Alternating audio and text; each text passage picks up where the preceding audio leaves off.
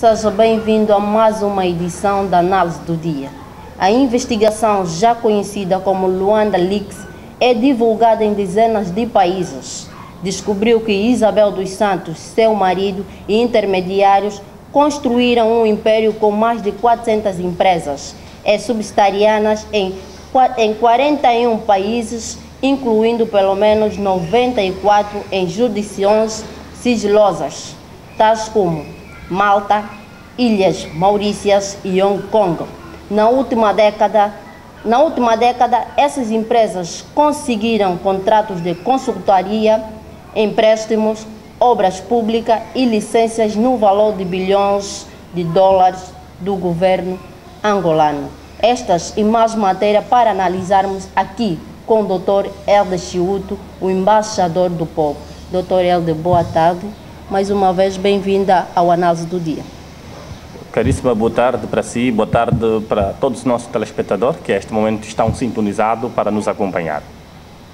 É, doutora, achas que esta investigação feita pelo Consórcio Internacional de Jornalistas é mais uma conspiração contra Isabel dos Santos? Uh, ok, muito obrigado pelo, pelo poder da palavra que me concede, mas eu quero analisar esta questão de forma hum, mormente imparcial, isenta e equidistante, de forma um tanto quanto equilibrada, do ponto de vista da análise justa de que se pode se fazer. Primeiro, eu gostaria de saber uma coisa. Com que interesse essa elite de jornalistas internacionais se envolveram para poder investigar contra Isabel dos Santos sobre a originalidade da proveniência das suas fortunas. Qual é a razão de fundo? Qual é, de facto, aqui a intenção dessa investigação? Se a intenção for boa, então penso que vamos ter uma outra, um outro parecer, um outro parecer de análise relativamente à posição deles. Mas quando diz se acho que é uma conspiração, na hipótese pode ser. Porque, repara uma coisa, esses jornalistas de que está aqui a falar, não são os tribunais. Podem estar no uso do exercício da liberdade de expressão ou da liberdade de imprensa, mas tem limites, porque não pode atentar contra a imagem, contra o bom nome, contra a reputação e contra a dignidade da pessoa humana. Por isso é que eu começo por questionar qual é a intenção deles. Tem-se dito que as roupas sujas lavam-se dentro de casa. Seria, se calhar, um tanto quanto ponderativo e atendível que fosse o nosso jornalista a nível interno a tentar refletir na forma investigativa, do jornalismo investigativo, como é que Isabel dos Santos se enriqueceu? Esse é um ponto assente que eles poderiam, como angolanos, têm esse direito de tentar perceber onde, de onde veio a proveniência da sua fortuna. Mas outro sinal, quem patrocinou esses jornalistas? Quem financiou? Com quem estão a colaborar? Quem está por detrás disso? O que é que querem de facto atingir como desiderato? que está se calhar em confesso. Ninguém está aqui a defender Isabel dos Santos. Ninguém está a dizer que Isabel é inocente ou é culpada. Até porque só será culpada, em definitivo, quando, mediante sentença condenatória transitada em julgado, junto do tribunal, é que, que não lhe ofereça recurso, ou, ou seja, o direito de recorribilidade, é que se pode dizer que Isabel tem culpa no cartório. Até agora, Isabel é inocente porque goza do princípio da presunção de inocência. E nenhum desses documentos que foram ali apresentados por esses jornalistas internacionais faz fé jurídica de que Isabel tem culpa no cartório. Até então, são meros expedientes. Ou seja, são meras, meros factos probandos que carecem de justificativa, carecem de fundamentação para poder aqui promover o tal juízo de certeza relativamente aos fatos de que eles apontam sobre a acusação. Porque se estamos diante de um juízo de suspeita que vai decorrer depois para o juízo de probabilidade, só em sede de discussão e julgamento, mediante audiência de discussão e julgamento, em homenagem ao princípio da mediação, porque só é prova aquilo que se prova em sede de julgamento. E nós estamos aqui a decorrer, a descambar para o juízo público social. Isso pode ferir outros direitos fundamentais salvaguardados pela norma constitucional à luz da ordem jurídico nacional.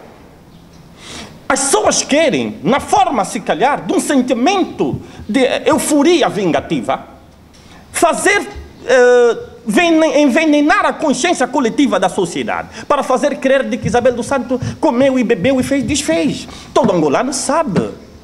Todo angolano sabe que Isabel teve privilégios. Isso é verdade, não se pode negar quanto a isso. Mas não deve ser esses uh, jornalistas internacionais a tentarem vexaminar, a tentarem macular o bom nome de Isabel dos Santos. Desculpa, como angolano, temos que estar não só solidário com Isabel dos Santos, mas também temos que tentar fazer uma análise crítica construtiva que se abona para o bem dessa nação. O que nós estamos a ver é uma forma, porque me leva a crer que há aqui uma, uh, uma, uma, se calhar diria, uma ação muito bem orquestrada, muito bem arquitetada, contra o império de Isabel dos Santos. Eu acho que não é por ali, não havia necessidade de chegarmos a esse, a esse extremo. E afirma ainda Isabel dos Santos, apontado o dedo eh, ao governo de Angola, que há documentos falsos contra ela. Sim, porque na ótica dela, porque tem direito da ampla, do princípio da ampla defesa, tem direito de se defender, é, um, é uma garantia constitucional e ninguém lhe vai tirar esse direito.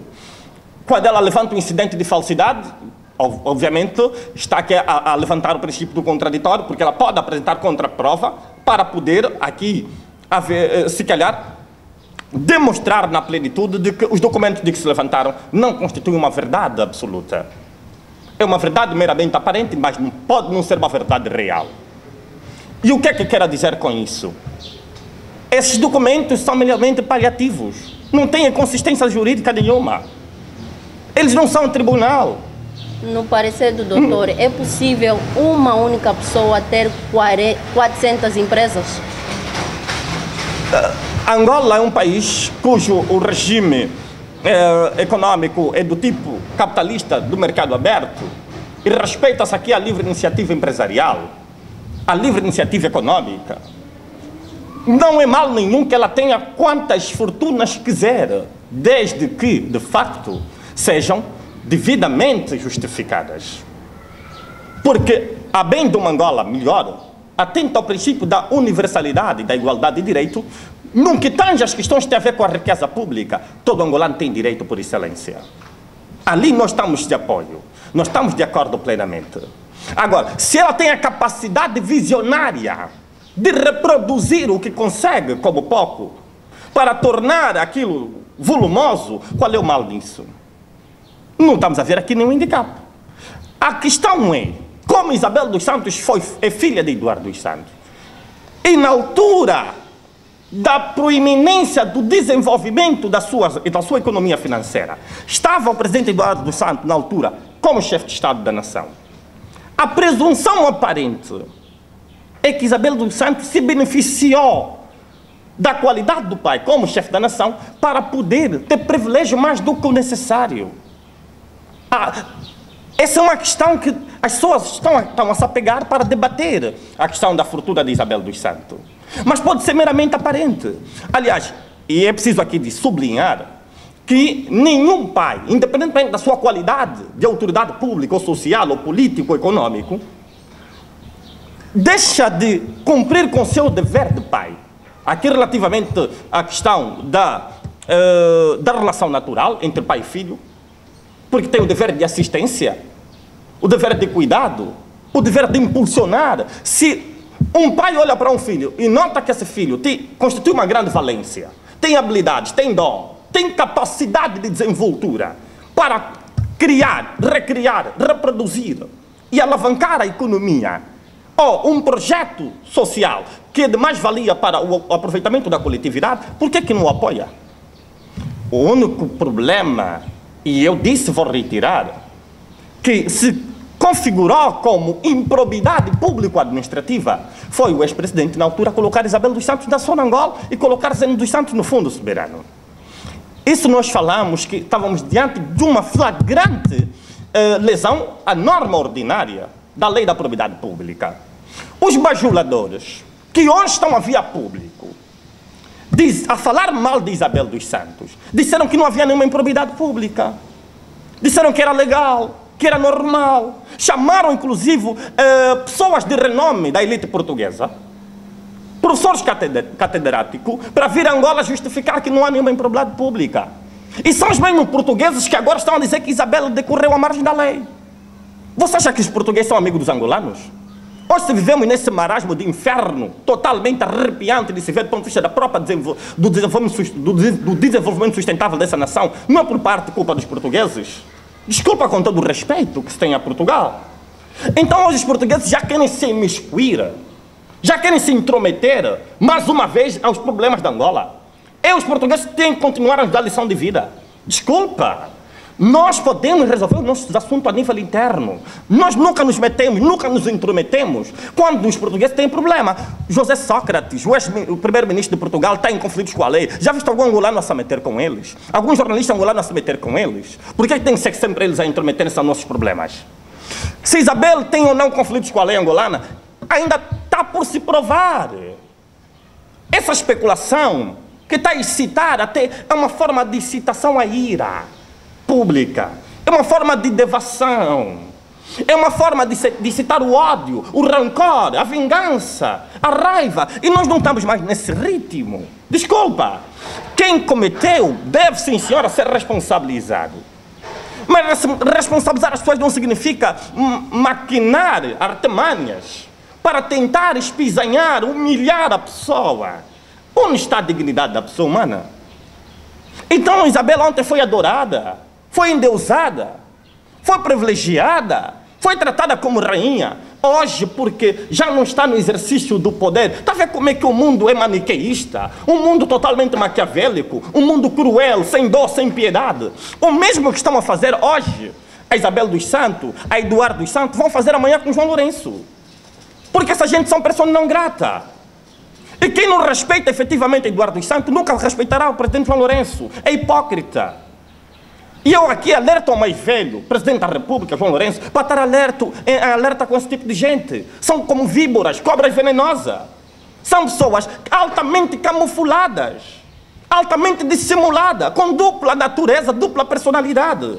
Desculpa, senhor presidente, eu acho que o bom amigo não te fala o que o senhor quer ouvir. Já disse várias vezes publicamente que eu tenho uma grande simpatia pelo presidente da República.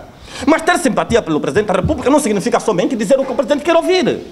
Está a entender? Quem te ama tem que te falar a verdade. João 8,32 falou a verdade, a verdade te libertará. Agora, é preciso nós acautelarmos a imagem das pessoas. Isso não é uma guerra isolada, a não ser que me prove que é uma guerra isolada. Se é um problema de ordem nacional e que tem um sentido de Estado, então temos que fazer com prudência, com calma. Porque, independentemente de Isabel estar a ser agora espisanhada, mas é o nome da Angola que lá fora fica manchado como um país que todo mundo é corrupto, todo mundo obteve riquezas por via ilícita. Repara uma coisa rapidamente, só para fazer uma remissão. Por exemplo, a Bíblia Sagrada, no livro de Mateus, capítulo 23, no versículo número 23, ele diz o seguinte: Ai de vocês, mestres da lei e fariseus hipócritas, pois vocês dão a Deus a décima parte, até mesmo da hortelã, da erva doce e do cominho, mas não obedecem aos mandamentos mais importantes da lei, que são o de serem justos com os outros, o de serem bondosos e de serem honestos. Mas são justamente essas coisas que vocês devem fazer, sem deixar de lado as outras. Guias cego. Ai de vocês, mestres da lei e fariseus hipócritas. Pois vocês lavam o copo e o prato por fora, mas por dentro esses estão cheios de coisas que vocês conseguiram por via da violência e da ganância. Muitos querem tentar e ganhar a simpatia do presidente João Lourenço para tentar ter um privilégio de ter cargos públicos. São os bajuladores que querem cargo. Mas eu vou lhe dizer uma coisa: nós não precisamos bajular o presidente da República. A questão de dar o privilégio de assumir algum cargo de direção política é uma questão de graça divina. Sabe, Deus um dia se colocará no coração, no âmago do sentimento, da sensibilidade do presidente da República para contar com este ou com aquele. Eu não sou contra o Presidente da República, não sou contra ninguém, nem contra Isabel dos Santos. Mas é, temos que fazer uma análise, como acadêmicos, uma análise sucinta e uma análise analógica. Eu não posso entrar no ruído popular. Não posso me levar. Como Maria vai com as outras, como vai com o vento. Ah, é gatuno, não, é, é, tem, que ser, tem que ser banido, tem que ser é, torturado. Não, isso não é a dialética de que se deve construir na mentalidade das pessoas nos dias de hoje. E vamos a um curto intervalo e voltamos já.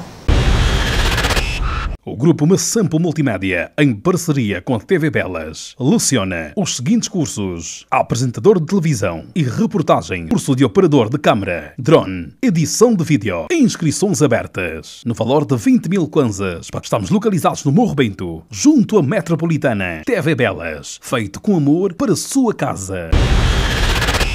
Retomamos a conversa com o doutor. Eh, Isabel dos Santos acrescentou ainda no Twitter que é preciso 715 mil documentos para aprovar um esquema? Exagero, pura invenção, pois no final nada dizem. O que Isabel queria dizer com isto e no ponto jurídico, doutor? Hum, é preciso dizer que no capítulo da prova, tudo isso que foi aqui divulgado pode servir como uma mera denúncia pública para constituir, junto dos órgãos da autoridade pública, uh, atento ao princípio da oportunidade e da oficialidade, um, uh, o competente, o impulso processual para poder uh, averiguar sobre a inquirição qualquer implicação de que, de facto, no concreto, tem a Isabel do Santo com esse dossiê que estão aqui a divulgar. Por outra, não faz prova de nada disse a, a Benício, não faz prova absolutamente de nada, porque não constitui prova bastante. Não faz fé jurídica para imputar qualquer responsabilidade criminal ou civil a Isabel dos Santos. Em função desses meios, podemos considerar meios de prova, as autoridades podem uh, se apegar nelas para despolitar um, um processo de investigação. E dali se constituir ou não como arguída, Isabel dos Santos, mediante acusação sobre despacho de pronúncia que depois vai-se produzir aquilo que se chama o juízo de certeza. Estamos diante uh, de um juízo de suspeita, mas o juízo de suspeita não constitui qualquer possibilidade de imputar responsabilidade criminal ao sujeito aqui acusado. Por outra questão, eu fico estranho como é que depois de se mover o processo da providência cautelar de arresto contra Isabel dos Santos, vem de antemão esses processos. Ou é muita coincidência, ou é muita concertação. Porque a mim me faz espécie que alguma coisa está errado. Por que, que não vieram antes? Se dizem que já investigam há sete anos, por que, que não divulgaram isso antes? Desculpe a quem me ouve, mas eu acho que a tendência para alguns, porque a ocasião faz o ladrão, está para saber? Eu não estou a dizer que o Estado angolano não, não tenha razões suficientes para levantar o competente processo. Mas eu estou a dizer que essas pessoas da elite internacional não estão a respeitar sequer a soberania do poder judiciário em Angola. É uma forma de tentar induzir o órgão de justiça angolano a mudar de percepção e, a, e agir conforme eles querem que se haja até certo ponto vejo uma certa tendência de conspiração. É um ato de conspuração, difamatório, injurioso e totalmente caluniosa contra Isabel dos Santos. Tem que se respeitar as pessoas. Os poderes estão ali, estão devidamente separados, repartidos, para cada um, na sua jurisdição, oferecer as suas tarefas de acordo com as suas atribuições. É, doutor, vimos que muita gente vive em casas de latas, morrem na porta dos hospitais e isso há, há cadeias televisivas que nunca focaram nesses aspectos. Mas concernente a Isabel dos Santos, se roubou ou não roubou, há um órgão a apertarem a Isabel dos Santos e tentarem expandir o que o doutor tem a dizer concernente a isso. É mais uma visibilidade para Isabel dos Santos? Bem, eu acho que o Estado tem que ser inteligente nesse quesito. Se Isabel constitui uma, uh, uh, uh, uma grande valia para a questão relativamente à dinamização, à revitalização e à questão do próprio desenvolvimento sustentável do ponto de vista do domínio empresarial para a nossa, a nossa nação, Então por que, que não negocia com Isabel dos Santos? Por que, que não negociamos em vez de bani-la do mercado? Se é uma pessoa que está comprovada de consegue oferecer oportunidade de emprego, consegue gerar economia, consegue criar, eh, do ponto de vista da engenharia arquitetônica, infraestrutura de realce, que se abonam para o próprio engrandecimento do ponto de vista infraestrutural do país em geral. Por que, que não podemos agarrar a ela e negociar? Dizer, pá, tudo bem, que está comprovado na hipótese de que a senhora foi beneficiada, foi privilegiada, em detrimento do resto dos angolanos, mas também está comprovado que a senhora tem uma grande capacidade de desenvoltura do ponto de vista empresarial. Vamos trabalhar em conjunto com o Estado angolano, ok? Vai devolver isso, vai devolver aquilo, mas isso por mérito é seu, porque conseguiu reproduzir, está a perceber? Atendendo aqui ao princípio da justiça material, a justiça social. Atendendo aqui ao princípio uh, da própria equidade, num ponto de vista da aplicação da norma. Eu acho que não podemos partir para atos que visam somente uh, criar esse, essa crispação, essa clivagem, essa dicotomia, esses atritos, que de nada se aproveita para a coletividade, quando o país precisa avançar. E o país não avança com discórdias, com desavença, com lutas, com discrepância. O país avança de forma unida. E disse: tem pessoas a morrer, sim. Tem pessoas com fome, sim. Tem pessoas desempregadas em números grosseiros? Sim. Tem pessoas que não sabem o que comer hoje no calar da noite? Sim. Tem pessoas que não sabem onde viver. Para não desperdiçarmos, por que, que nos juntamos as forças? É sábio o líder que antes de usar a força, usa a sabedoria, a inteligência, para salvaguardar outros interesses superiores que se abonam para a coletividade. Vamos deixar o ódio, o espírito do ódio, da, da raiva, da vingança, porque o que eu estou a ver aqui são discursos de vingança. Até juristas que pareciam de renome a nível nacional, ao fazer abordagem relativamente a Isabel dos Santos, estão a entrar no populismo, estão a entrar no senso comum. Desculpa, quer cargo. Não é dessa forma. Ganha cargo por uma questão de meritocracia. Eu, no dia que o presidente João Lourenço quiser contar comigo para alguma coisa, não será por ele. É o Senhor Jesus de Nazaré que vai colocar no coração dele essa vontade. Eu posso ser bajulador de Jesus, mas nunca de um homem. Eu vivo da graça de Deus. Como o meu pão coxá engordo, vivo bem. Viver bem não é ter milhões na conta, mas paz na alma consigo mesma. Onde vamos levar tudo isso? Tudo fica. Tudo é passageiro, tudo é perecível, tudo é transitório. Mas o legado pela positiva fica para a eternidade. Que Deus abençoe essa nação. Terminamos com mais uma edição da análise do dia. Até amanhã, se Deus quiser.